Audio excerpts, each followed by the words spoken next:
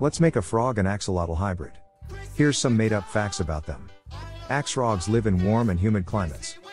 They can breathe air and hold their breath for up to 17 minutes. They mostly eat flies and plants and are rather skittish. They are also coated in poisonous mucus, making them toxic to ingest or touch. Leave a like if you enjoyed, and if you want to see more animal hybrids, subscribe and comment what hybrids you want to see next.